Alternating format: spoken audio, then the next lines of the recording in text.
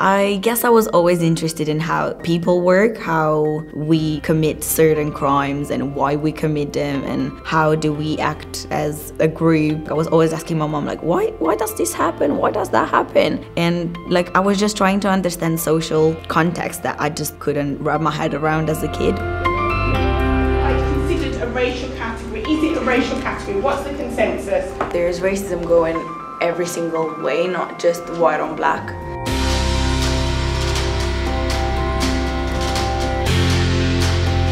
I live five minutes from the uni with my boyfriend Dean a flat. We cook together, I cook a lot of Romanian food and I learn some of the British traditional foods as well and I would say that I make an excellent tea. And I'm trying to find that small range of people that actually do it. Part-time job at the moment is working as a student ambassador in the uni, which is working on the applicant day or on the open days and we just have a small stand, the people just come and ask us questions.